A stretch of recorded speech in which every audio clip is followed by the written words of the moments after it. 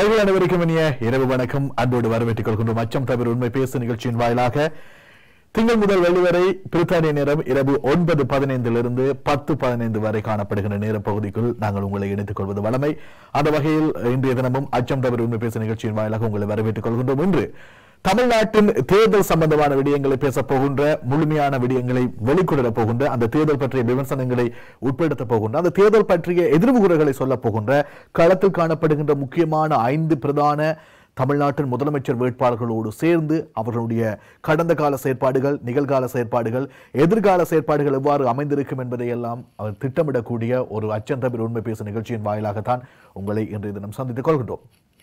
நேற்றைய தினம் அச்சம் தவிர உண்மை பேசும் நிகழ்ச்சியில் நாங்கள் நேற்றைய தினம் தமிழ்ஸ் ஃபார் லேபர் சார்பாக திரு சென் கந்தி அவர்களிடம் பேசியிருந்தோம். அதனுடைய பதிவுகளை நீங்கள் யூடியூப்பில் சென்றால் பார்வையிட முடியும் என்பதையும் சொல்கிறோம். அந்த பதிவுகளை நீங்கள் பதிவு செய்து நாங்கள் யூடியூப்பில் பதிவேற்றம் செய்திருக்கிறோம். அங்கு சென்றால் நீங்கள் பார்வையிட முடியும். இதே நேரத்தில் எங்களுடைய அச்சம் தவிர உண்மை பேசும் நிகழ்ச்சியினை நீங்கள் தவறவிட்டால் யூடியூப் பக்கத்தின் மூலமாக நீங்கள் பார்வையிடலாம். அதுக்குரிய முகவரியை நாங்கள் உங்களுக்கு இன்னும் சில நாட்களில் தருவோம் என்பதையும் குறிப்பிட்டுக் கொள்ளலாம். இந்த நேரத்தில் அச்சம் தவிர உண்மை பேசும் நிகழ்ச்சிக்கு அன்போடு வரவேற்றுக் கொள்கின்றோம். தினமும் ஒன்பது பதினைந்தில் இருந்து பத்து பதினைந்து வரை வருகின்ற அச்சம் உண்மை பேசுகையில் இன்று நான் ஏற்கனவே குறிப்பிட்டது போல தமிழகத்தினுடைய தேர்தல் நெருங்கிக் கொண்டிருக்கிறது. அந்த தேர்தல் சம்பந்தமான விடயங்களை தான் பார்க்க போகின்றோம்.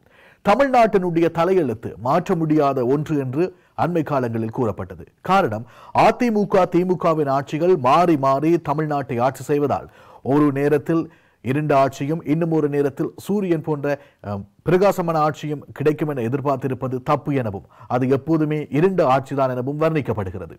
தமிழ்நாட்டு மக்கள் தேர்தலுக்காக மட்டும் பார்க்கப்படுகின்ற நேரத்தில் தேர்தல் முடிந்தவுடன் பிரதானமாக களத்தில் இருக்கின்ற அதிமுக திமுக போன்ற கட்சிகள் அவர்களை கைவிடுவதும் கடந்த காலங்களில் வரலாறு சொல்லி தந்த ஒரு பாடமாக இருக்கிறது. ஆனால் அதை தாண்டி இந்த முறை உருவாக்கப்பட்டிருக்கின்ற சில கட்சிகள் அல்ல சில கூட்டணிகள் பெரும் எதிர்பார்ப்பை ஏற்படுத்தி இருக்கின்றன. மாற்றம் என்கின்ற ஒரு சொல்லை அடிப்படையாக வைத்து மக்கள் நல மாற்று கூட்டணி என்ற ஒன்று வைகோ தேமுதிக தலைவர் விஜயகாந்த் விடுதலை சிறுத்தைகள் கட்சியினுடைய தலைவர் திரு திருமாவளவன் போன்றோரால் உருவாக்கப்பட்டிருக்கிறது. அதேபோல மிகவும் எதிர்பார்ப்புக்கு உட்படுத்தப்பட்ட கட்சியாக இருப்பது நாம் தமிழர் கட்சி. ஒரு கதிரை முக்கியமான ஐந்து பிரதான வேட்பாளர்கள். நடக்கப் போகின்றது தமிழகத்தின் முதலமைச்சருக்கான சட்டசபை தேர்தல். வாக்குகளுக்கு மத்தியில் ஐந்து வேட்பாளர்களும் ஒரு கதிரைக்கான போட்டியில். வெல்லப்போவது யார்? தேர்தல் முடிவுகள் வரும் வரை காத்திருக்க வேண்டும். அதை சொல்கின்ற ஒரு கார்ட்டூன் வரைபட காணொளி பகிர்வு நிகழ்ச்சியில் முதலில்.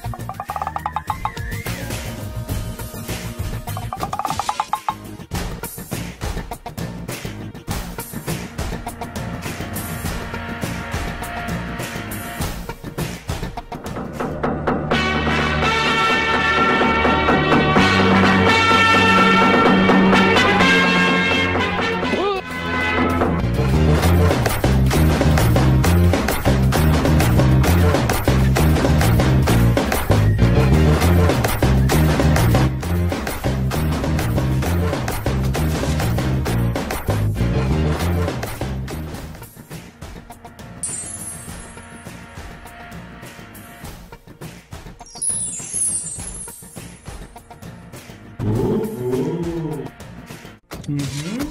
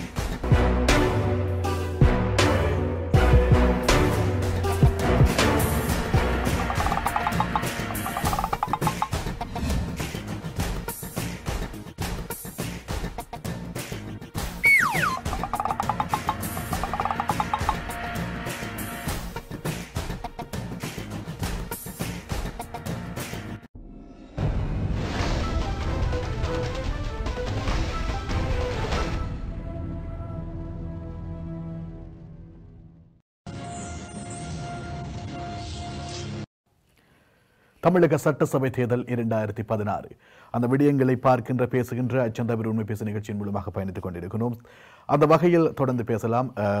இதற்கு முதலில் ஒரு சிறியதொரு காணொளி தந்திருந்தோம். நகைச்சியோடு கலந்த காணொளி. ஆனால் நிறைய உண்மைகளை சொல்கின்ற ஒரு காணொளி. ஒரு கதரைக்காக முக்கியமாக ஐந்து கூட்டணிகள் சேர்ந்து போட்டி போடுகின்ற ஒரு தேர்தல் களம். இந்த தேர்தல் காலத்தில் நடக்கப் போகின்ற விடயங்கள் நடைபெற்ற விடயங்களை பேசுகின்ற ஒரு நேரமாகத்தான் இந்த நேரம் அமைந்திருக்கிறது. அதன் அடிப்படையில் அண்ணா திராவிட முன்னேற்ற கழகம் தற்போது தமிழகத்தை ஆட்சி செய்கின்ற முக்கியமான கட்சி. செல்வி ஜெயலலிதா தலைமையில் இந்த முறையும் தேர்தல் தேர்தலில் களமிறங்குகிறது. கடந்த காலங்களில் மக்களினுடைய குறைகளை கேட்பதில் மிகப்பெரிய தவறு இழைத்ததாக சொல்லப்படுகிறது அண்ணா திராவிட முன்னேற்ற கழகம். தமிழகத்தினுடைய மக்களை பாராமுகத்தோடு செயல்பட்ட இந்த கட்சி அல்லது இந்த கட்சியினுடைய தலைமை மக்களுக்கு எதுவும் செய்யவில்லை என்கின்ற குற்றச்சாட்டு பரவலாக காணப்படுகிறது. உதாரணமாக அண்மையில் ஏற்பட்ட சென்னையில் காணப்பட்ட மிகப்பெரிய வெள்ளப்பெருக்கினை கண்டுகொள்ளாத முகமாக இருந்த செல்வி ஜெயலலிதா அவர்கள். வாட்ஸ்அப் மூலமாக வெள்ளப்பெருக்கால் பாதிக்கப்பட்ட மக்களுக்கு ஆறுதல் கூறும் செய்தி ஒன்றை வெளியிட்டிருந்தார். ஆனால் தேர்தல் நெருங்குகின்ற போது தேர்தல் பிரச்சாரத்துக்காக அவர் மேடைகளில் பேசுவதற்கு தற்போது வருகை தந்திருக்கின்றார். மேடைகளில் பேசுகின்ற போது மீண்டும் அதிமுகவை வெல்ல வைப்பீர்கள் என்ற நம்பிக்கையுடனேயே உங்களுக்கிடம் நான் பேச வந்துள்ளேன் என கூறியுள்ளார். தன்னுடைய கட்சியையும் ஆட்சியையும் தக்க வைத்துக் கொள்வதற்காக தேர்தல் களத்தில் போட்டியிட காத்திருக்கும் ஜெயலலிதா அவர்கள் மக்களுக்கு எதிர்காலத்தில் நல்லது செய்வாரா என்கின்ற கேள்வி எழுப்பப்பட்டுக் கொண்டே இருக்கிறது. அதிமுக திமுக என்கின்ற இந்த மிகப்பெரிய இரண்டு அரசியல் கட்சிகளும் தமிழகத்தை மாறி மாறி ஆட்சி செய்கின்ற போதும் இரண்டு கட்சிகளும் ஒரு நிலையான கருத்தினையை கொண்டிருப்பது பார்க்க முடிகிறது. அந்த நிலையான கருத்து மக்களுக்கு எதுவும் செய்யக்கூடாது என்பதுதான் என்பது தெளிவாகிறது. இந்த அண்ணா திராவிட முன்னேற்ற கழகத்தினுடைய கடந்த கால ஆட்சி வரவுகளில் பார்க்கின்ற போது ஏராளமான முறைகேடுகள் நடந்திருப்பது தெரிய வந்திருக்கிறது. கடந்த கால தேர்தல்களை விட இந்த தேர்தல் மிகவும் வித்தியாசமானதாக இருக்கும் எனவும் பல மாற்று முடிவுகள் இங்கு உதயமாகும் எனவும் அவதானிகள் சுட்டிக்காட்டுகின்றனர். காரணம் மக்களும் மாணவர்களும் விழிப்படைந்திருக்கின்றனர். பணத்திற்காக ஓட்டு போடும் தமிழக அரசியலில் ஒரு மாற்றத்திற்கான முதல் படி எடுத்து வைக்கப்பட்டுள்ளது. பணத்திற்காகவும் பொருட்களுக்காகவும் தங்கள் வாக்குச்சீட்டுகளை விற்கும் மக்கள் தங்கள் உரிமைகளுக்காக வாக்கு அர்ப்பணிக்கின்ற காலமாக இந்த தேர்தல் களம் மாற்றமடைந்துள்ளதாகவும் சொல்லப்படுகிறது. அதிமுகவில் நடிகர் சரத்குமாரும் இணைந்துள்ளமை குறிப்பிடத்தக்கது. இவ்வாறு ஒரு மிகப்பெரிய கூட்டணியோடு களமிறங்குகின்ற செல்வி ஜெயலலிதா ஜெயராம் அவர்களால் ஆட்சியை பிடிக்க முடியுமா என்ற கேள்வி எழுப்பப்பட்டால் கருத்து கணிப்புகள் சொல்லி நிற்பது இல்லை என்பதுதான் இங்கு ஊதியமாகிறது. அதிமுகவினுடைய ஆட்சியில் மக்களுக்கான விடயங்கள் மேற்கொள்ளப்படவில்லை மக்களின் குறைகள் தீர்த்து வைக்கப்படவில்லை மக்கள் மாணவர்களுக்கான முழுமையான வசதிகள் ஏற்படுத்தி கொடுக்கப்படவில்லை என்ற குற்றச்சாட்டுகள் நிலவுகின்றது.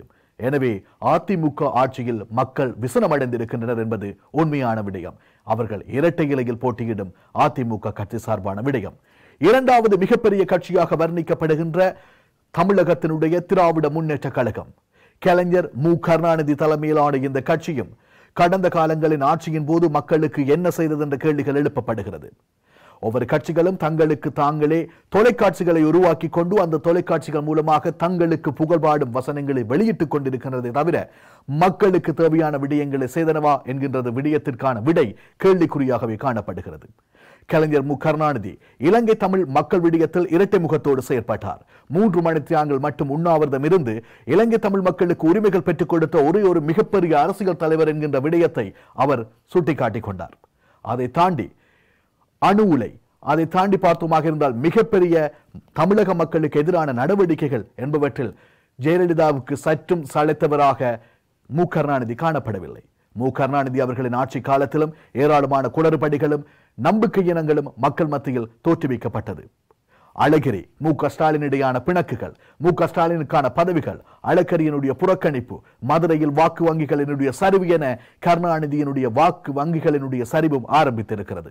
இதற்காகவே இந்தியாவினுடைய முக்கிய அரசியல் கட்சிகளில் ஒன்றாக இருக்கின்ற சோனியா காந்தி தலைமையிலான காங்கிரஸ் கட்சியோடு கூட்டு சேர்ந்திருக்கின்றது திராவிட முன்னேற்ற கழகம்.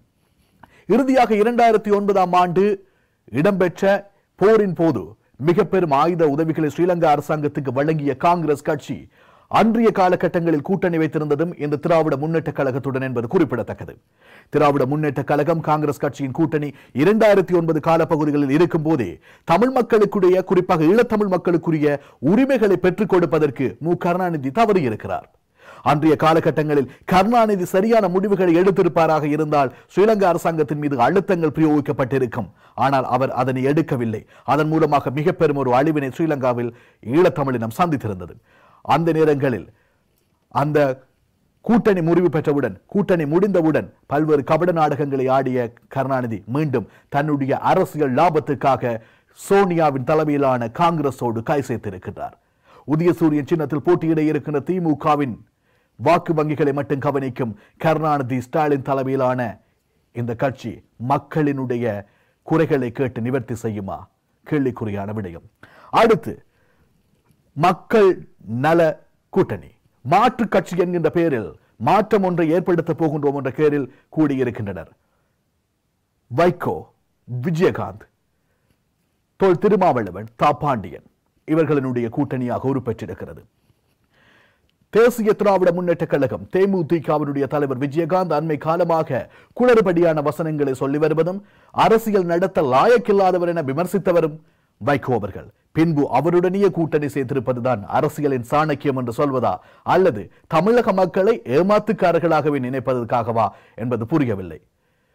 தமிழீழ விடுதலை போராட்டத்தை பற்றி பேசி வந்த தோல் திருமாவளவன் வைகோ போன்றவர்கள் இந்த அரசியல் இந்த தேர்தலில் அந்த விடயத்தை கையில் எடுக்காமல் இருப்பது ஏன் என்கின்ற கேள்விகளும் எழுப்பப்பட்டிருக்கிறது செல்வி ஜெயலலிதாவால் ஆரம்பிக்கப்பட்ட ஒரு வாக்குகளை உடைக்கும் கட்சியாகவே இந்த மாற்றுநல கூட்டணியை பார்க்க முடிவதாக ஊடகங்களில் செய்திகள் வெளிவந்தாலும் அதனுடைய முக்கியமான உறுப்பினர் திரு வைகோ அவர்கள் அதை நிமாறுக்கின்றார். மாற்று கூட்டணி என்கின்ற பெயரில் உதயமாகி இருக்கின்ற திராவிட முன்னேற்ற கழகத்தினுடைய விடயங்களை பாதுகாக்க வேண்டும். திராவிட முன்னேற்ற கழக கட்சிகளை பாதுகாக்க வேண்டும் என்கின்ற விடயத்தில் அக்கறை கொண்டிருக்கின்ற வைகோவோடு கூட்டிச் சேர்ந்திருக்கின்ற இன்னும் ஒரு விஜயகாந்த். அதே போன்று பார்த்தோமாக இருந்தால் தா பாண்டியன் தொல் திருமாவளவன் போன்றவர்களின் உடைய இந்த கூட்டணி மக்களுக்கு ஏதாவது சாதிக்குமா? இந்த கூட்டணியை மக்கள் ஆதரிப்பார்களா? அதுவும் கேள்விக்குறியான விடயம். அடுத்து இதுவரை தமிழர்களுக்காக பல கட்சிகள் உருவாக்கப்பட்டிருக்கின்றன. தமிழர்கள் உரிமைகளுக்காக பல கட்சிகள் உருவாக்கப்பட்டிருக்கின்றன. ஆனால் தமிழர்களுடைய விடயத்துக்காக உருவாக்கப்பட்ட எந்த ஒரு கட்சியும் திராவிட கொள்கையை முற்றாக எதிர்த்தது இல்லை. தமிழர்களுக்காக திராவிட கொள்கையை முற்றாக எதிர்க்கின்ற ஒரு மாபெரும் அரசியலின் கட்சியாக உதயமாகி இருப்பதுதான் நாம் தமிழர் கட்சி. நாம் தமிழர் கட்சியின் உதயம் என்பது மிக பெரும் அதிர்வலைகளை ஏற்படுத்தி இருக்கின்றது தமிழக தேர்தலில். நாம் தமிழர் கட்சிக்கு சேர்ந்திருக்கும் கூட்டம். இருநூற்றி முப்பத்தி நான்கு தொகுதிகளிலும் அவர்கள் போட்டியிடுவதற்காக வேட்பாளர்களை தெரிவு செய்தமை. அதை தாண்டி கடலூர் உட்பட மிகவும் பெரிய பெரிய இடங்களில் நடத்திய கூட்டங்களில் திரண்ட மக்கள் அதற்கான ஆதரவு என்பது பெருகிக் கொண்டே இருக்கிறது. இந்த நாம் தமிழர் கட்சி என்பது இந்த முறை நடைபெறுகின்ற தேர்தலில் ஆட்சியை பிடிக்கின்றதா பிடிக்கவில்லையா என்கிற விடயத்துக்கு அப்பால் சென்று பார்க்கின்ற போது இன்னும் ஒரு ஐந்து வருடங்களில் இது மிகப்பெரியதொரு அரசியல் கட்சியாக மாற்றம் பெறும் நடிகர் சத்யராஜ் கூறுகின்ற போது இவ்வாறான ஒரு அரசியல் கட்சி தமிழர்களுக்கு தேவை. சரியான நேரத்தில் நாம் தமிழர் கட்சி உருவாகி இருக்கின்றது என்று சொல்லப்படுகிறது. நாம் தமிழர் கட்சியில் ஏராளமான இளைஞர்களும் யுவதிகளும் உள்வாங்கப்பட்டிருப்பது அந்த கட்சியின் இன்னும் ஒரு வெற்றிக்கு காரணமாக இருக்கின்றது. துடிப்பான தமிழ் பற்றுள்ள ஒரு தலைமைத்துவத்தின் கீழ் ஒன்று சேர்ந்திருக்கும் நாம் தமிழர் கட்சி நிச்சயம் ஒரு மாற்றத்தை ஏற்படுத்தும். ஆனால் எந்த தேர்தலில் என்பதுதான் கேள்விக்குறியான விடயம். அடுத்து பாட்டாளி மக்கள் கட்சியினுடைய நிறுவனர் மருத்துவர் ராமதாஸ் அவர்களுடைய புதல்வர் அன்புமணி ராமதாஸ். மாற்றம் என்கின்ற பெயரோடு இவரும் காலத்தில் வந்திருக்கின்றார். இன்று இந்த நிகழ்ச்சியில் நான் சொன்ன விடயங்களில் முதலமைச்சர் வேட்பாளராக நிறுத்தப்பட்டவர்களில் இரண்டு பேர் தான் தமிழர்கள். ஒன்று திரு சீமான் இன்னும் ஒருவர் அன்புமணி. இந்த இருவரும் தான் தமிழர்கள் என்பது குறிப்பிடத்தக்கது. மற்ற அனைவரும் திராவிடர்கள் அல்லது வேறு ஒரு நாட்டிலிருந்து இங்கு வருகை தந்தவர்கள் தமிழ்நாட்டுக்கு வருகை தந்தவர்கள் என்பது குறிப்பிடத்தக்கது. அவர்களின் அடி வருடங்களை பார்க்கின்ற போது அது வேறு ஒரு நாட்டின் அல்லது வேறு ஒரு நாடென்று நாம் குறிப்பிடுவது இன்னும் ஒரு மாநிலத்தினுடைய விடயமாக இருப்பதை பார்க்கக்கூடியதாக இருக்கிறது. இங்கு அன்புமணி என்பவர் மாற்றம் என்கின்ற ஒரு விடயத்தை வைத்துக்கொண்டு அவர் மீண்டும் அரசியலுக்குள் நுழைந்திருக்கின்றார்.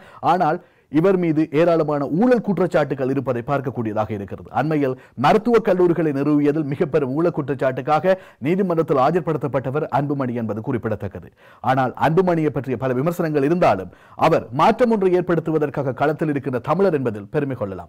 அதை தாண்டி மக்கள் மத்தியில் அவருக்கான செல்வாக்கு மிக மிக குறைவாக இருக்கிறது. பொறுத்திருந்துதான் பார்க்க வேண்டும். அவருடைய வாக்கு எண்ணிக்கை எவ்வாறு இருக்க போகின்றது என. அதிமுக திமுக மக்கள் நல கூட்டணி நாம் தமிழர் கட்சி பாட்டாளி மக்கள் கட்சி என முக்கியமான ஐந்து வேட்பாளர்களோடு களம் காணும் தமிழக சட்டசபை தேர்தலில் தமிழ் மக்கள் தமிழர்களை ஆதரிப்பார்களா திராவிடர்களை ஆதரிப்பார்களா என்ற விவாதங்களும் ஊடகங்களில் தொடர்கின்றது. இந்த தேர்தல் பற்றிய முழுமையான பதிவு ஒன்று இன்றைய அச்சந்தவிர் உண்மை பேசு நிகழ்ச்சியில் அடுத்து இடம்பெறுகிறது.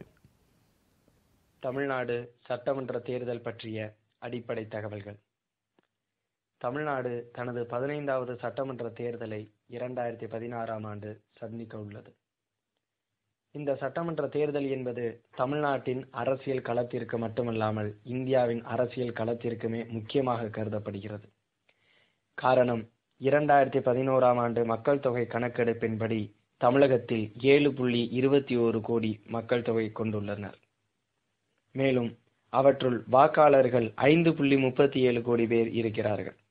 இவற்றுள் இரண்டு புள்ளி அறுபத்தி ஒன்பது கோடி ஆண் வாக்காளர்களும் இரண்டு புள்ளி அறுபத்தி எட்டு கோடி பேர் பெண் வாக்காளர்களும் அடங்குவர். ஒட்டுமொத்த மக்கள் தொகை அடிப்படையில் அட்டவணை சாதியினர் இருபது சதவீதத்தினரும் அட்டவணை பழங்குடியினர் ஒன்று புள்ளி பத்து சதவீதத்தினரும் இருக்கிறார்கள். ஒட்டுமொத்தமாக தமிழகத்தில் உள்ள முப்பத்தி இரண்டு மாவட்டங்களையும் உள்ளடக்கி இருநூற்றி முப்பத்தி நான்கு சட்டமன்ற தொகுதிகள் இருக்கின்றன. அவற்றுள் நாற்பத்தி நான்கு அட்டவணை சாதியினருக்கும் இரண்டு அட்டவணை பழங்குடியினருக்கும் ஒதுக்கப்பட்டிருக்கிறது. தமிழகத்தில் இருநூற்றி முப்பத்தி நான்கு சட்டமன்ற தொகுதிகள் இருப்பதனால் இந்தியாவின் நாடாளுமன்றத்தின் மாநிலங்களவையில் தமிழகத்திற்கு பதினெட்டு இடங்கள் இருக்கின்றன. அந்த பதினெட்டு இடங்களை யார் நிரப்பப் போகிறார்கள் எந்த கட்சியை சேர்ந்தவர்கள் நிரப்பப் போகிறார்கள் என்பதனை தமிழ்நாட்டின் சட்டமன்ற தேர்தல் முடிவுகளே வெளிப்படுத்தும். ஆக இது தமிழகத்திற்கு மட்டுமல்லாமல் மத்தியில் ஆட்சி செய்யும் மத்திய அரசாங்கத்திற்கும் இது ஒரு முக்கியமான அரசியல் களமாக விளங்கி கொண்டு வருகிறது. தமிழகத்தின் அரசியல் என்பது இந்தியாவின் அரசியலிலிருந்து சற்றே மாறுபட்டது. இந்தியாவில் முதன் முதலில் தேசிய கட்சிக்கு மாற்றாக எந்த ஒரு மாநிலத்தில் இனவாதத்தை அடிப்படையாக வைத்து ஒரு வலுவான ஆட்சி அமைக்கப்பட்டது என்றால் அது தமிழகம்தான். காரணம் அறிஞர் அண்ணாதுரை தலைமையில் திராவிட முன்னேற்ற கழகம் முதன் முதலில் நிலையான ஆட்சியை தமிழகத்தில் நிறுவியது. அதனைத் தொடர்ந்து திமுகவிலிருந்து அனைத்திந்திய அண்ணா திராவிட முன்னேற்ற கழகம் என்று எம். ஜி. ராமச்சந்திரன் அவர்களால் ஒரு திராவிட கட்சியும் தோற்றுவிக்கப்பட்டது.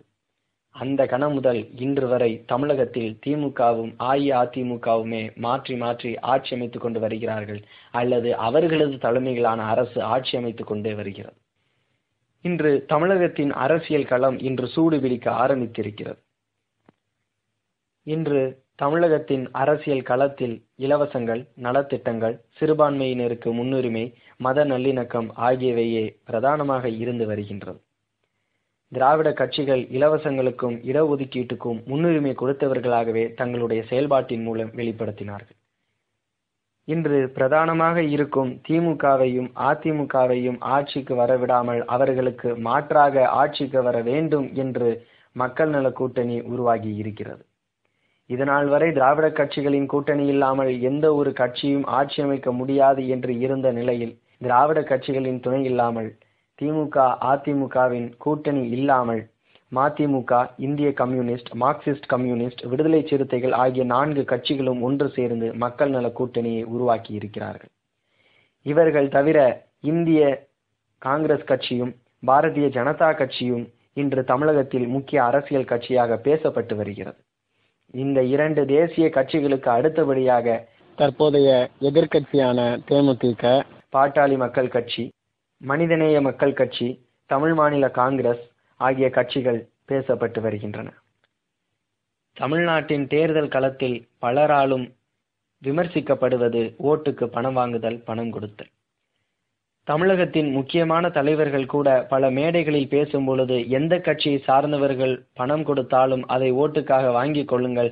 ஆனால் உங்கள் மனதுக்கு யாரை தேர்ந்தெடுத்தால் நல்லபடியாக ஆட்சி நடக்கும் என்று விரும்புகிறீர்களோ அவர்களுக்கே ஓட்டு போடுங்கள் என்று பல தலைவர்கள் கூறியிருக்கிறார்கள் இந்த தமிழகத்தில். இந்த தமிழகத்தில் இலவசங்களை வழங்க மாட்டோம் என்றும் மதுவிலக்கை அமல்படுத்துவோம் என்றும் ஆகிய இரண்டு கொள்கைகளை முதன்மைப்படுத்தி தேர்தலில் முதன் முதலில் குறித்து குதித்திருக்கிறது பாட்டாளி மக்கள் கட்சி. அண்ணாவின் காலந்தொட்டே இலவசம் வழங்குவதற்காக பல பகுத்தறிவு சிந்தனைகளுடமும் ஒரு முற்போக்கு சிந்தனையுடமும் அதை ஆதரித்து வந்த கட்சிகள் திராவிட கட்சிகள்.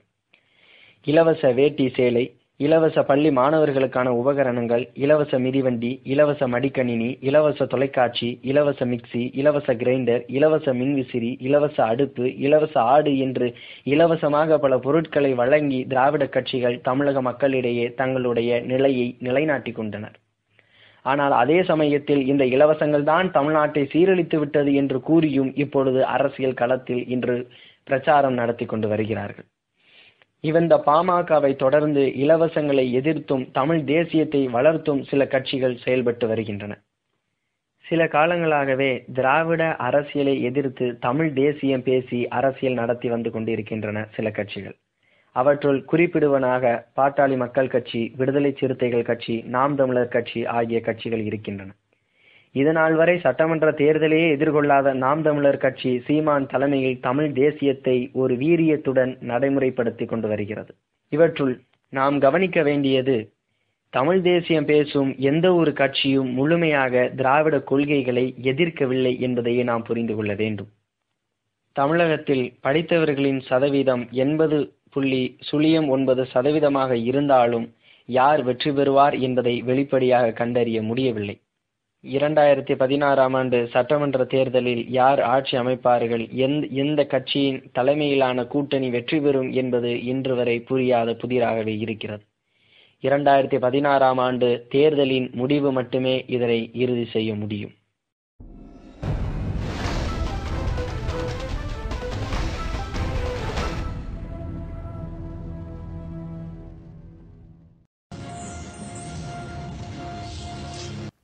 வெளிப்படையான குற்றச்சாட்டுகள் முன்வைக்கலாம். எப்படி என்றால் இந்த திராவிட கட்சிகள் மக்களுக்கு எதுவும் செய்யவில்லை என்கின்ற குற்றச்சாட்டுகளை வெளிப்படையாக வைக்கலாம். அச்சந்தவர் உண்மை பேசு என்கிற நிகழ்ச்சியே நிச்சயமாக ஒரு விடயத்தை எடுத்து வருவது மட்டுமல்ல அதனுடைய உண்மைத்தன்மைகளை உங்களோடு பகிர்ந்து கொள்வது முக்கியமான ஒரு விஷயமாக இருக்கிறது. அது ஈழ பிரச்சனையாக இருக்கலாம் அல்லது தமிழக பிரச்சனையாக இருக்கலாம் அல்லது உலக அரசியலாக இருக்கலாம் அல்லது கலை சமூகம் சார்ந்த விடயங்களாக இருக்கலாம். எதாக இருந்தாலும் உண்மையான விடயங்களை தெளிவுபடுத்துவதற்காகவே தீபம் தொலைக்காட்சியால் வடிவமைக்கப்பட்டது இந்த அச்சம் தமிழ் உண்மை பேசு அந்த வகையில் நாங்கள் பார்த்தோமாக இருந்தால் ஒரு காணொளி பதிவு ஒன்று நாங்கள் இப்போது பார்த்தோம் சற்று முன்னர். அதில் காட்டப்பட்ட விடயங்கள் தேர்தல் சம்பந்தமான முழுமையான பகுதிகளும் அதில் அடக்கப்பட்டிருந்தது.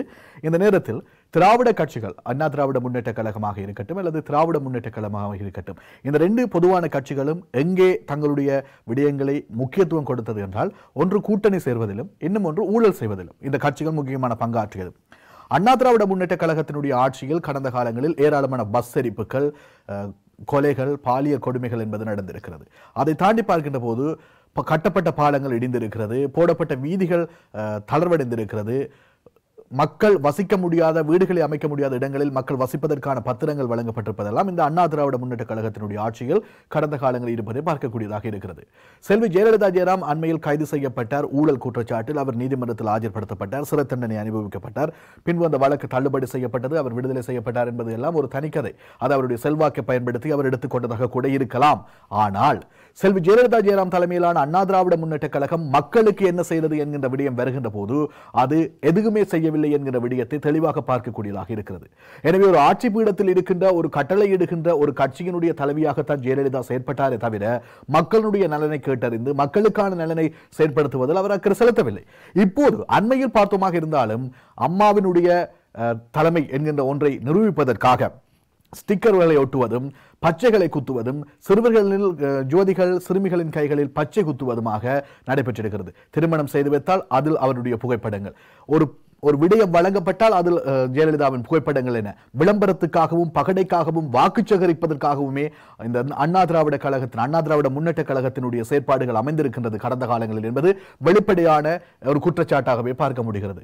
இதோடு திராவிட முன்னேற்ற கழகமான திமுகவை ஒப்பிடுகின்ற போது திமுகவும் அதில் சளைத்தவர்கள் அல்ல என்பதை சுட்டிக்காட்டுகிறது. அண்ணா திராவிட முன்னேற்ற கழகத்தினுடைய ஊழல்களுக்கு எந்த ஒரு விதத்திலும் குறைவானவர்கள் நாங்கள் அல்ல என்பதை நிரூபித்து காட்டியிருக்கிறது திராவிட முன்னேற்ற கழகம். காரணம் திராவிட முன்னேற்ற கழகத்தினுடைய தலைவர் கலைஞர் மு. கருணாநிதி அவர்களுடைய புதல்வியாக இருக்கின்ற கனிமொழி அவர்கள் இந்தியாவின் இந்த நூற்றாண்டின் மிகப்பெரிய ஊழலாக கருதப்படுகின்ற டூ ஜி அலைக்காற்று ஊழலில் சிக்கியிருக்கின்றார்.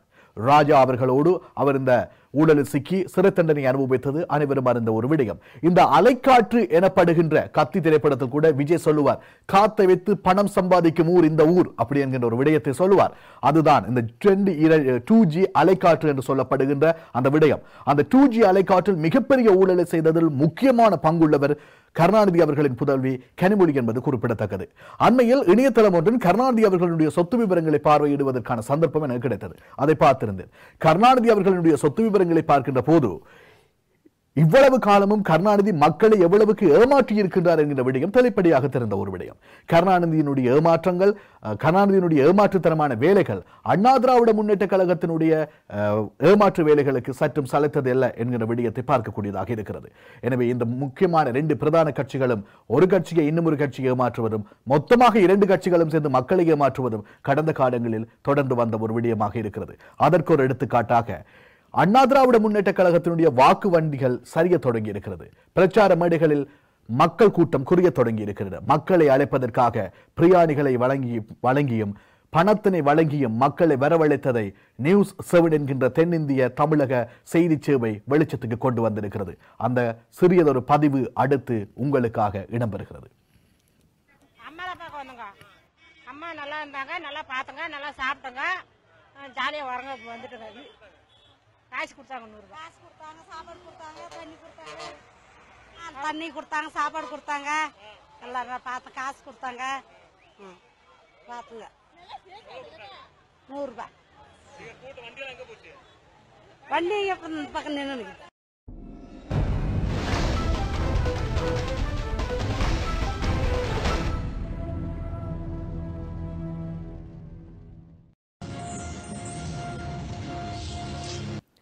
பணம் கொடுப்பது உணவு கொடுப்பது பிரச்சாரத்துக்கு மக்களை ஒன்று சேர்க்கின்ற என்கிற மிகப்பெரிய இக்கட்டான நிலைக்கு தமிழகத்தின் முக்கிய இரண்டு கட்சிகளும் தள்ளப்பட்டிருக்கிறது. இது ஆரோக்கியமான விடயமாகவே பார்க்க முடிகிறது.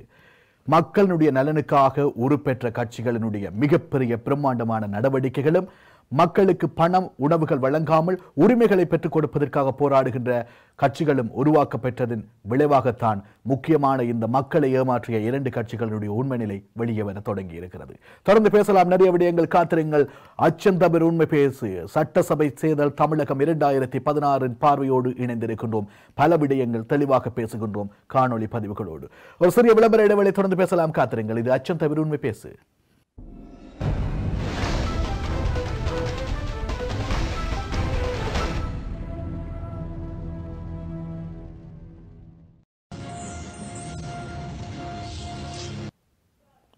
அச்சம் தவிர உண்மை பேசு. சிறிதொரு விளம்பர இடைவெளியை தொடர்ந்து மீண்டும் உங்களை சந்திப்பதில் மிக்க மகிழ்ச்சி. இன்றைய தினத்தில் தமிழக சட்டசபை தேர்தல் இரண்டாயிரத்தி பதினாறு தொடர்பாக பேசிக் கொண்டிருக்கிறோம். அந்த வகையில் சட்டசபை தேர்தல் தொடர்பான முழுமையான பல பதிவுகள் நாங்கள் உங்களுக்காக தந்து கொண்டிருக்கிறோம். இந்த நேரத்தில் நாங்கள் விளம்பர இடைவெளிக்கு முதலில் அண்ணா திராவிட முன்னேற்ற கழகம் திராவிட முன்னேற்ற கழகம் ஆகிய இரண்டு கட்சிகளினுடைய கடந்த கால செயற்பாடுகள் பற்றி விவாதித்திருந்தோம். எதிர்காலத்தில் இன்னும் ஒரு பத்து வருடங்களில் பதினைந்து வருடங்களில் இந்த கட்சிகள் மிகவும் ஒரு சிறிய கட்சிகளாக போவதற்கான வாய்ப்புகள் நிறையவே இருக்கிறது. ஏனென்றால் மக்களுக்கு சேவை புரிவதற்கென பல கட்சிகள் இப்போது உதயமாகி இருப்பதும் அந்த கட்சிகளுக்கு பின்னால் மாணவர் பக்கம் அல்லது யுவதிகளின் ஆதரவு படித்த சமூகத்தின் ஆதரவு என்பது இருப்பதால் இந்த விடயங்களில் மாற்றங்கள் நிறையவே ஏற்பட போகின்றது என்பது உண்மையான விஷயம். இங்கே முக்கியமான ஒரு இடத்தை நாங்கள் கவனித்துக் கொள்ளலாம். நாம் தமிழர் என்கின்ற கட்சியினுடைய உருவாக்கம். நாம் தமிழர் கட்சிகள் தமிழ் தேசியத்துக்கோ அல்லது ஈழத்தமிழர்களுக்கோ ஆதரவானது என்கின்றபடியால் அந்த அவர்களை நாங்கள் ஆதரிக்கின்றோம். இந்த நிகழ்ச்சியின் மூலமாக அவர்களுடைய விடயங்களை கொண்டு வருகின்றோம் என்று யாரும் நினைக்கக்கூடாது. இந்த நிகழ்வு முற்றுமுழுதாக தமிழகத்தில் அவர்கள் என்ன செய்தார்கள் என்ன செய்து கொண்டிருக்கின்றார்கள் என்பதை தான் பார்க்க போகின்றோம். வெள்ளம் ஏற்பட்ட காலங்களில் கூட மிக பெரும் நிவாரண பணிகளில் ஈடுபட்டது நாம் தமிழர் கட்சி என்பது குறிப்பிடத்தக்கது. நாம் தமிழர் கட்சியினுடைய வரைவு என்பது மிக தெளிவாக காட்டப்படுகிறது. உண்மையாக சொல்ல வேண்டுமாக இருந்தால் குளிர்பானங்கள் பெப்சி கோலா போன்ற குளிர்பானங்கள் தயாரிப்பதற்கு தமிழகத்தினுடைய பெரிய பெரிய ஆறுகள் எரியாகிறது. ஒரு நாளைக்கு ஐந்து லட்சம் அல்ல ஐயாயிரம் லட்சம் தேவையான நீர் எடுக்கப்படுகிறது. அது ஆறுகளிலிருந்து மிகப்பெரும் ஏரிகளிலிருந்தும் எடுக்கப்படுகிறது. இதனால் விவசாயிகளுக்கு நீர் என்பது கிடைப்பதற்கான வழி இல்லாமல் போகிறது. விவசாயம் அற்று போகிறது. விவசாயிகள் தற்கொலை பண்ணுகின்றார்கள். இந்தியா போன்ற நாடுகளில் உலகில் நான்காம் தர வல்லரசு நாடுகள் என்று சொல்லப்படுகிற இந்தியா போன்ற நாடுகளில் ஏற்கனவே பலர் சொன்னது போல ஐயாயிரம் கோடி ரூபாய் கடன் வாங்கிய விஜய் மல்லையா போன்றவர்களுக்கு அங்கு விதிவிலக்கு அளிக்கப்படுவதும் ஐயாயிரம் ரூபாய் கடன் வாங்கிய அடிப்படை விவசாயிகளுக்கு வற்புறுத்தலின் பேரில் அவர்கள் தற்கொலை செய்யும் அளவுக்கு அவர்களுக்கான அந்த துன்புறுத்தல் இடம்பெறுவதும் இந்தியா போன்ற குறிப்பாக தமிழகம் போன்ற இடங்களில் நடைபெறுவதுதான் இங்கு மிக கவலைக்குரிய விடயம். இந்த ஏரிகள் குளங்கள் இவ்வாறான ஆறுகளின் மூலமாக குளிர்பானங்களுக்கு இவ்வளவு மிகப்பெரிய தொகையில் நீர் எடுக்கப்பட்டால் விவசாயத்துக்கான நீர் எங்கிருந்து கிடைக்கும்? மக்களுடைய அன்றாட தேவைக்கான நீர் எங்கிருந்து கிடைக்கும்? இவற்றுக்கெல்லாம் கேள்வி எழுப்புகிறது நாம் தமிழர் கட்சி. எனவே இந்த மக்களுக்கு தமிழ் சார்ந்த தமிழர்களுடைய பாரம்பரிய விடயங்களிலிருந்து நாங்கள் கொண்டு வருவோம் என்கின்ற விடயத்தில் அவர்கள் சொல்வது மீளவும் ஒரு தமிழ் சோழ பரம்பரையினுடைய ஆட்சி வருவது போன்ற ஒரு காலமே பார்க்கப்படுகிறது. காரணம் தமிழுக்கு முன்னுரிமை கொடுப்பதும் தம் ஆங்கிலத்தை கட்டாய மொழியாக்குவதும் ஒரு முக்கியமான செயற்பாடாக நாம் தமிழர் கட்சி எடுத்திருப்பது தமிழினுடைய வளர்ச்சிக்கும் தமிழ் மொழியினுடைய வளர்ச்சிக்கும் மிகவும் முக்கியமான ஒன்றாக அமைகிறது. கடந்த காலங்களில் தமிழ் மொழி கற்பதை விட ஆங்கில மொழி கற்பதுதான் வேலைகளுக்கும் மற்றவர்களுக்கும் இலகுவாக இருக்கிறது. அல்லது அதற்கான விடயங்கள் தான் நடைபெற்றுக் கொண்டிருக்கிறது என்று பார்த்தால் தமிழ் மொழி ஒரு முக்கியமான மொழியாகவும் தமிழ் மொழி தமிழர்களுக்கு தேவையான மொழியாகவும் தமிழ் தாய்மொழியை முதலில் படியுங்கள். அதுக்கு பிறகு மாற்று மொழிகளுக்கு செல்லலாம் என்கிற கட்டளையை நாம் தமிழர் கட்சி கொடுத்திருப்பது மிகவும் வரவேற்கத்தக்கது. இந்த நாம் தமிழர் கட்சியினுடைய செயற்பாடுகளை நாங்கள் பார்த்தோமாக இருந்தால் மதுபானங்களை நிறுத்துங்கள் கள்ளனுடைய தடையை நீக்குங்கள். கள்ளு என்பது உடலுக்கு ஒரு சத்துணவாகவே பார்க்கப்படுகிறது. கள்ளில் இருப்பதை விட இந்த மதுபானங்களில் இருக்கின்ற மதுவினுடைய அளவு மிக கூடுதலானது. ஆனால் தமிழகத்தில் கள்ளு தடை செய்யப்பட்டிருக்கிறது. இந்த உயிர்களை கொள்ளும் மதுபானம் என்பது தடை செய்யப்படவில்லை. ஆனால் நாம் தமிழர் கட்சி என்ன சொல்கிறது கள்ளு என்கின்ற ஒன்று முக்கியமான ஒரு குடிபானம் தமிழர்களுடைய குடிபானம். இது உடலுக்கு ஊட்டச்சத்து மிக்கது. ஆனால் இந்த மதுபானங்கள் என்பதை அகற்றி விடுவோம் கல்லை கொண்டு வருவோம் என்கின்றது. அது ஒரு ஆரோக்கியமான விடயம்தான். கொக்கோ கோலா பெப்சி போன்ற இந்த குளிபானங்களை அகற்றி விடுவோம். மோர் தயிர் அவ்வாறான விடயங்களை கொண்டருவோம் இளநீர் கொண்டருவோம். இப்படி ஆரோக்கியமான உணவுகளை கொண்டருவோம் என சொல்லப்படுவது இங்கு வரவேற்கத்தக்க ஒரு விடயம். அது மட்டும் இல்லாமல் நான் ஏற்கனவே குறிப்பிட்டது போன்ற இந்த குளிர்பானங்களை தயாரிப்பதற்கு தேவையான நீரை பெற்றுக் கொள்கின்ற ஏரி அதிலிருந்து நீரை எடுக்கின்றனர். நீர் எடுத்து ஏரியில் நீர் இல்லாத தன்மத்தில் இந்த அரசியல் தலைவர்களுடைய உடன்பிறப்புகளும் அரசியல்வாதிகளும் என்ன செய்கின்றனர்? மண் எடுக்கின்றனர். மண்ணை எடுத்து அங்கு மிகப்பெரியதொரு அழிவை ஏற்படுத்துகின்றனர். இயற்கையோடு விளையாடுகின்றனர். இந்த பஞ்சபூதங்களில் இந்த தமிழகத்தின் அரசியல் தலைவர்கள் விளையாடாத ஒரே இடம் என்றால் நெருப்போடு மட்டும்தான். அதை தாண்டி நெருப்பையும் ஆகாயத்தையும் தவிர மிச்சம் எல்லாம் காத்தோடு ஊழல் செய்து விட்டார்கள் நிலத்தோடு ஊழல் செய்து விட்டார்கள் அப்படியே நீரோடு ஊழல் செய்து விட்டார்கள் எல்லாவற்றிலும் ஊழல் செய்கின்றார்கள். அந்த ஊழலை தடுப்பதற்கான ஒரு மாற்று அரசியலை உருவாக்குவதற்கான ஒரு முதல் படியைத்தான் நாம் தமிழர் கட்சி ஆரம்பித்திருக்கிறது. இளைஞர்களை களத்தில் யுவதிகளை களத்தில் திருநங்கைகளை களத்தில் இறக்கி ஒரு மாபெரும் புரட்சியை படைப்பதற்கும் தமிழையும் தமிழ் மக்களையும் தமிழர்களுடைய பாரம்பரியத்தையும் காப்பதற்காக உருவான நாம் தமிழர் கட்சி மக்களால் வரவேற்கப்படுகிறது. நாம் தமிழர் கட்சியின் வேட்பாளர் ஒருவர் வழங்கி இருக்கின்ற சிறியதொரு காணொளி பதிவு அடுத்து இடம்பெறுகிறது. அன்பான தாய் தமிழ் உறவுகளுக்கு உங்கள் அரவிந்த் குருசாமி அரவக்குறிச்சி சட்டமன்ற தொகுதி வேட்பாளர் பேசுகிறேன். நாம் தமிழர் கட்சி சார்பாக அரவக்குறிச்சி சட்டமன்ற தொகுதியிலே போட்டியிடுகின்ற நான் தான். இந்த பகுதியிலே நீங்கள் கண்கூடாக பார்க்கின்ற அவல நிலையில்தான் இருக்கின்றது நங்காஞ்சி ஆறு. அரவக்குறிச்சியை வலிமையாக்க ஒரு காலத்திலே படகு போக்குவரத்தும் மீன்பிடி தொழிலும் செய்து கொண்டிருந்த நங்காஞ்சி ஆறு இன்று நாசமாய் போய் கிடக்கிறது. சீமக்கருவேலம் உள்ளாக ஆக்கிரமித்து இந்த நாசமாய் போய் கிடக்கின்ற இந்த நிலையை எந்த அரசியல்வாதிகளும் இதுவரை எந்த செயல்களும் செய்யாத நிலையை உருவாக்கியிருந்தார்கள். இதை பொதுமக்களாக பள்ளப்பட்டி அரவக்குறிச்சியின் பொதுமக்கள் சேர்ந்து இந்த செயல்களை செய்தால் எத்தனை காலங்கள் இதை செய்து முடிக்க முடியும்? ஆனால் அரசு எந்த நடவடிக்கையும் எடுக்காத நிலையில்தான் இருக்கிறது. இதை மாற்ற வருகிற தேர்தலிலே நாம் தமிழர் கட்சி அரவிந்த் குருசாமிக்கு இரட்டை மெழுகுவர்த்தி சின்னத்திலே வாக்கை செலுத்துங்கள். கட்டாயம் ஒரு மாற்றத்தை உருவாக்குவோம். இதே ஆற்றிலே கழிவுநீர் கலந்து அசுத்தமான நிலையிலே இருக்கின்ற இந்த நிலையை மா மாற்ற இந்த தூய அவல நிலையை போக்கி தூய நல்ல நிலைக்கு இந்த நங்காஞ்சி ஆறை உருவாக்கிட வாக்கை செலுத்துங்கள் இரட்டை மெழுகுவர்த்தி சின்னத்துக்கு. உங்கள் மகன் அரவிந்த் குருசாமிக்கு கட்டாயம் ஒரு மாற்ற மாற்றத்தை உருவாக்குவோம். நாம் தமிழர்.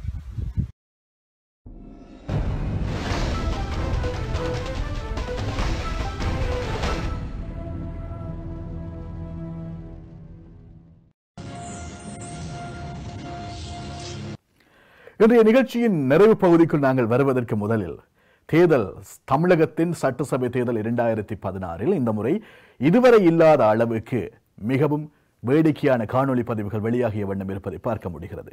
அரசியல்வாதிகள் ஒன்றுக்கு பின் முரணாக கூறும் கருத்துக்கள் தினமும் ஒவ்வொரு மேடைகளில் கூறும் கருத்துக்கள் என பல நகைச்சுவை விடயங்கள் நகர்ந்து கொண்டிருப்பதை தான் பார்க்க முடிகிறது. இப்போது அதை தாண்டி அனிமேஷன் கார்ட்டூன் என்னும் வடிவில் நகைச்சுவைகள் வெளிவந்து கொண்டிருப்பதை பார்க்கக்கூடியதாக இருக்கிறது.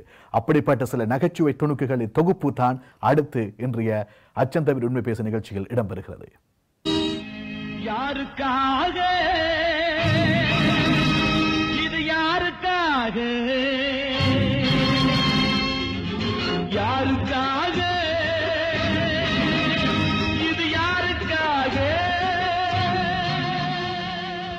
உனக்காக எல்லாம் உனக்காக.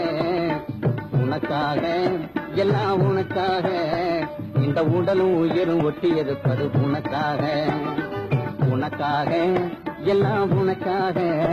இந்த உடலும் உயிரும் ஒட்டி இருப்பது உனக்காக. சொல்லத்தான் நினைக்கிறேன். உள்ளத்தான்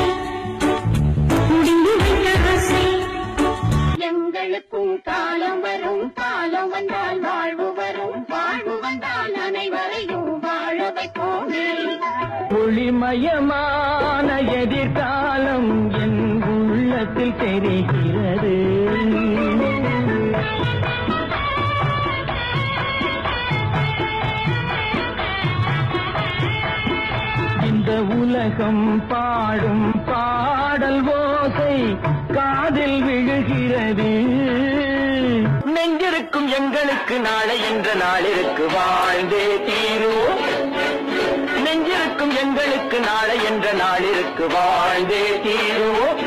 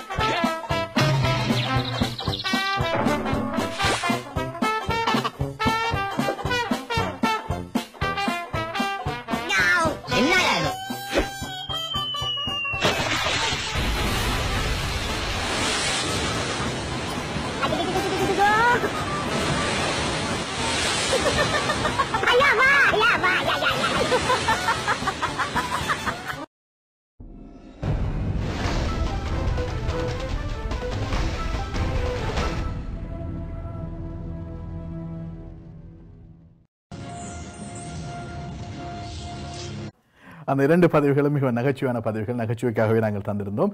அந்த இரண்டு பதவிகளிலும் நகைச்சுவையோடு கலந்திருந்தது திமுக அதிமுகவினுடைய அதில் முதல் நகைச்சுவைக்கு பார்த்தீங்கன்னா அந்த கதிரைக்காக போட்டி போடுகிற எல்லாரும் அப்படி என்று சொல்லி வந்தது. ரெண்டாவதில் எங்கே எடுத்துக்கொண்டாலும் அண்ணா திராவிட கழகத்தினுடைய தலைவி ஜெயலலிதாவினுடைய படங்களும் ஸ்டிக்கர்களும் இருப்பது சித்தரிக்கப்பட்டிருந்தது என்பது குறிப்பிடத்தக்கது.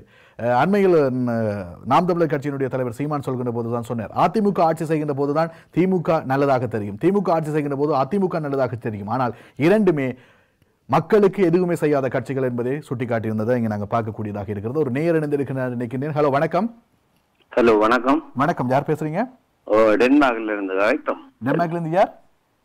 டென்மார்க்ல இருந்து ரவியா. என்னண்ட ஒரு பிரச்சனை. ஐயோ நீங்க செய்யறது. என்னன்னு சொன்னா இந்த இந்திய அந்த சரத் வந்து சொன்னதான் இப்ப ஞாபகத்துல வருதுன்னு அரசியல் கோமாளியன்ற விளையாட்டு தான் நாங்க நடந்து இந்தியாவில். இதே இதே எல்லாம் ஒரு ப்ரோக்ராம் போட்டு நீங்களே நிகழ்ச்சியை நடத்துகிற விடுங்கோ. இதை விட்டு போட்டு. நன்றி. உங்களுடைய கருத்துக்கு ரொம்ப நன்றி. எங்களுடைய கல எங்களுடைய நாட்டு அரசியல் தீப பார்வையில் உங்களுக்காக இன்று தந்திருந்தோம். அந்த நேரம் தீப பார்வையில் பல விடயங்கள் உங்களுக்காக வந்திருந்தது. ரொம்ப நன்றி ரவி. சரி இந்த அச்சந்தபர் உண்மை பேச நிகழ்ச்சியினுடைய நிறைவு பகுதிக்கு நாங்கள் வந்திருக்கிறோம். இந்த நிறைவு பகுதியில் நாங்கள் தமிழகத்தினுடைய அரசியல் சட்டசபை தேர்தல் இரண்டாயிரத்தி பதினாறு சம்பந்தப்பட்ட விடயங்களை நாங்கள் உங்களுக்காக தந்து கொண்டிருக்கிறோம். தமிழகத்தினுடைய அரசியல் ஈழத்தமிழர்கள் பிரச்சனைகள் எவ்வாறான ஆதிக்கத்தை செலுத்தும் என்று பார்க்கின்ற போது மிக முக்கியமான ஒரு ஆதிக்கத்தை செலுத்துவதென்ற மிகப்பெரிய ஒரு சக்தியாக இந்த தமிழக அரசியல் களம் இருக்கிறது. காரணம் தமிழக அரசியல் களத்தில் எடுக்கப்படுகின்ற சில முக்கியமான முடிவுகள் ஈழத்தமிழர் பிரச்சனையில் செல்வாக்கை செலுத்தும் என்பது கடந்த காலங்களினூடாக நாங்கள் பார்த்த ஒரு விடயம். இரண்டாயிரத்தி ஒன்பதாம் ஆண்டு இறுதிப் போரின் போது திராவிட முன்னேற்ற கழகம் சிறப்பான ஒரு முடிவை எடுத்திருக்குமாக இருந்தால் காங்கிரஸ் கட்சியினுடைய மத்திய அரசில் ஆட்டம் கண்டிருக்கும். மத்திய அரசு கலைக்கப்படுவதற்கான சந்தர்ப்பம் இருந்தது. முக்கியமான அமைச்சர் பதவிகள் திமுக சார்பாக மத்திய அரசில் இடம்பெற்றிருந்தது. எனவே திமுக அப்போது அவ்வாறான ஒரு முடிவை எடுக்க தவறியிருந்தது. அண்ணா திராவிட முன்னேற்ற கழகத்தை எடுத்துக்கொண்டோமாக இருந்தால் ஈழத்தமிழர் பிரச்சனையில் அவர்கள் தீர்மானங்களை நிறைவேற்றுவதோடு மட்டும் நிறுத்திக் கொண்டு தங்களுடைய அரசியல் காய் நகர்த்துகளை மிகவும் லாகபெரமாக முன்னெடுத்துச் செல்கின்றார்கள். அண்ணா திராவிட முன்னேற்ற கழகத்தை நாங்கள் ஒப்பிட்டு பேச வேண்டுமாக இருந்தால் ஐக்கிய தேசிய கட்சியோடு ஒப்பிட்டு பேசலாம். ரணில் விக்ரமசிங்கே எவ்வாறு தமிழ் மக்களுக்கு சார்பான விடயங்களை செய்வார் என்று எதிர்பார்க்கப்படுகிற போது தீர்மானங்களை நிறைவேற்றுவதும் அதை வைத்துக் கொண்டே மிக சூழ்ச்சிகரமான நடவடிக்கைகளை எடுப்பது போலவே அண்ணா திராவிட முன்னேற்ற கழகத்தினுடைய தலைவி ஜெயலலிதா அவர்களும் தீர்மானங்களோடு மட்டும் நிறுத்திக் கொள்கின்றார். இதுவரைக்கும் ரஜீவ் காந்தி கொலை வழக்கில் கைது செய்யப்பட்ட எவரும் விடுதலை செய்யப்படவில்லை என்கின்ற ஒரு விடயம் இதற்கு நல்லது ஒரு சான்றாக இருக்கிறது. தற்போது விடுதலை என்கின்ற ஒரு விடயத்தை தற்போதைய தமிழக அரசு கொடுத்திருந்தாலும் அதில் காலதாமதம் ஏற்படுவது ஏன் என்ற கேள்விகள் எழுப்பப்படுகிறது. ஒரு- ஒரு மாநிலத்தினுடைய அரசாங்கத்திற்கான முழு அதிகாரங்களும் தமிழக அரசுக்கு இருக்கிறது. ஏன்? இதற்கான மாற்றம் என்பது தெரியவில்லை. எனவே இங்கு ஒரு மாற்றம். தமிழர்கள் நலன் சார்ந்த ஒரு அரசியல் கட்சி. தமிழ் நலன் சார்ந்த ஒரு அரசியல் கட்சி. தமிழர்களுடைய விருப்பு சார்ந்த ஒரு அரசியல் கட்சி வருகின்ற போதுதான் நிச்சயமாக ஈழத்தமிழர் பிரச்சனையிலும் ஒரு மாற்றம் ஏற்படும். அதற்காக மிகச் சரியாத ஒரு கட்சியை தேர்வு செய்ய வேண்டியது தமிழக மக்களின் தமிழக மக்களுடைய வாழ்க்கைக்கான ஒரு சுபிட்சமாக மட்டுமல்லாது ஈழத்தமிழ் மக்களின் விடுதலைக்கான ஒரு சுபிட்சமாகவும் அது அமையும் என்பதுதான் இங்கு முக்கியமான விடயம். அண்ணா திராவிட முன்னேற்ற கழகம் ஊழல்களோடும் தன்னுடைய வாக்கு வண்டிகளை நிரப்புவதோடும் தங்களுக்கு கும்பிடு போடுகின்ற தங்களுடைய விடயங்களை நகர்த்திச் செல்வதோடு மட்டும் தங்களுடைய விடயங்களை நிறுத்திக்கொண்டு அண்ணா திராவிட முன்னேற்ற கழகம் மக்களுக்கு செய்வதையெல்லாம் விட்டுவிட்டு தங்களுடைய கட்சி தங்களுடைய வாக்கு வங்கிகள் தங்களுடைய சொத்து விவரங்கள் என்பதை மட்டுமே நிலையாக கொண்டு எளிய மக்களின் வறிய மக்களின் கல்விக்காகவோ வளர்ச்சிக்காகவோ இருப்பிடத்துக்காகவோ இதுவரை எதுவும் செய்யவில்லை. திராவிட முன்னேற்ற கழகம் அண்ணா திராவிட முன்னேற்ற கழகத்திற்கு எந்த வகையிலும் சளைத்தது அல்ல என்பதை மீண்டும் மீண்டும் நிரூபித்துக் கொண்டு இருக்கிறது நடைப்பயணத்தை மேற்கொண்டார் மு க ஸ்டாலின். அதன் விளைவாக என்ன நடக்கப் போகிறது என்பது தெரியவில்லை. கலைஞர் கருணாநிதி பலமுறை முதலமைச்சர் முதலமைச்சர் ஆசனத்தில் அமர்ந்திருந்தார். தமிழகத்தினுடைய வளர்ச்சிக்காகவோ தமிழ்நாட்டினுடைய எளிய மக்களின் வறிய மக்களின் வளர்ச்சிக்காகவோ பாடுபட்டாரோ என்பது கேள்விக்குறியாக இருந்தாலும் தன்னுடைய குடும்ப சொத்துக்களை சேர்ப்பதிலும் தங்களுடைய வாரிசுகளினுடைய சொத்துக்களை சேர்ப்பதிலும் மிகவும் அக்கறையோடு செயற்பட்டார் என்பது டூ ஜி அலைக்காற்று ஊழல் வழக்கு உட்பட பல விடயங்களில் வெளிச்சத்துக்கு வருகிறது. வைகோ தலைமையிலான மதிமுக மறுமலர்ச்சி திராவிட முன்னேற்ற கழகத்தை எடுத்துக்கொண்டோமாக இருந்தால் திராவிட முன்னேற்ற கழகத்திலிருந்து பிரிந்தவர் பிறந்து ஜெயலலிதாவோடு சேர்ந்தவர் பிறகு பிரிந்து இப்போது தேமுதிக எனப்படுகின்ற விஜயகாந்தின் கட்சியோடு இணைந்திருக்கின்றார். மாற்று என்கின்ற ஒரு கூட்டணியோடு மக்கள் நல கூட்டணியாக உருவெடுத்திருக்கின்ற இவர் பல்வேறு மாற்றங்களை ஏற்படுத்தலாம் என எதிர்பார்க்கின்றார். ஆனால் இதுவரை ஆட்சிப்பிடம் ஏறவில்லை. பொறுத்திருந்துதான் பார்க்க வேண்டும். நாம் தமிழர் கட்சி தமிழர்களின் உரிமைகளையும் தமிழ் மக்களுக்கான விடயங்களையும் பேசுகின்ற முக்கியமான கட்சியாக மிக பெரும் புரட்சியோடு தன்னை அர்ப்பணித்திருக்கிறது. பல நடிகர்கள் பல படித்தவர்கள் தலைவர்கள் அரசியல் பிரமுகர்கள் கல்விமான்கள் ராஜதந்திரிகள் மாணவர்கள் மாணவிகள் இளைய சமுதம் ஜோதிகள் என பல்வேறு தரப்பினரிடம் செல்வாக்கு செலுத்தப்படுகின்ற ஒரு கட்சியாக இருக்கிறது. தமிழன் தமிழ்நாட்டை ஆள வேண்டும் என்கின்ற ஒரு கொள்கை தமிழ் வளர வேண்டும் என கொள்கை பிற பானங்கள் அகற்றப்பட்டு தமிழ் பானங்கள் உட்கொண்டு வரப்பட வேண்டும் என்கின்ற ஒரு கொள்கை தமிழர்களுடைய உரிமைகளும் தமிழர்களுடைய மொழியும் தமிழனும் தமிழ்நாட்டில் முதன்மைப்படுத்தப்பட வேண்டும் என்கின்ற அந்த விடயம் அதற்கான எடுத்துக்காட்டு பேச்சு அதனுடைய வேகம் என்பன இதே வேகத்தில் இதே அர்ப்பணிப்போடு சென்றால் நிச்சயமாக எதிர்காலத்தில் சுபீட்சமான ஒரு தமிழ்நாட்டை மட்டுமல்ல சுபீட்சமான ஈழத்தமிழர்களின் வாழ்க்கையை கூட எதிர்பார்க்கலாம். ஆனால் அரசியலுக்கு சென்றவுடன் நாம் தமிழர் கட்சியினுடைய தலைமையும் நாம் தமிழர் கட்சியும் மேற்கூறப்பட்ட முக்கியமான அதிமுக திமுக போன்ற மாற்றுக் கொள்கைகளோடும் மாற்று வழியிலும் பயணத்தை ஆரம்பிக்குமாக இருந்தால் நிச்சயமாக அதுவும் மக்களால் உதாசீனப்படுத்தப்படும் என்பதுதான் உண்மையான விடயம். எனவே இன்றைய நிகழ்ச்சியோடு இணைந்திருந்த அத்தனை உறவுகளுக்கும் நன்றிகளை கூறிக்கொண்டு அரசியல் களத்தில் திமுகவா அதிமுகவா அல்லது மக்கள் நல கூட்டணியா அல்லது நாம் தமிழர் கட்சியா? பொறுத்திருந்து பார்ப்போம். அன்புமணி தலைமையிலான பாட்டாளி மக்கள் கட்சி மிக பெரும் சரிவைத்தான் சந்திக்க போகிறது. கடந்த கால செயற்பாடுகளிலும் மக்களின் கருத்துக்களிலும் தெரிகிறது. அது அந்த விடயங்கள். எனவே பொறுத்திருந்து பார்ப்போம். தேர்தல் தான் விடை சொல்ல வேண்டும். மீண்டும் ஒரு பதிவினூடாக சந்திக்கும் வரை நாளை தினம் அச்சம் தவிர உண்மை பேசும் நிகழ்ச்சிகள். என்ன ஒரு விடயத்தை எடுத்து வரலாம். அதுவரை தொழில்நுட்பத்தில் உதவிய நேதாஜி அவர்களுக்கும் நன்றி கூறி மீண்டும் ஒரு நிகழ்ச்சியில் சந்திக்கும் வரை விடைபெற்றுக் கொள்ளும் நான் ஜாத்ரா. நன்றி வணக்கம் நேர்களே.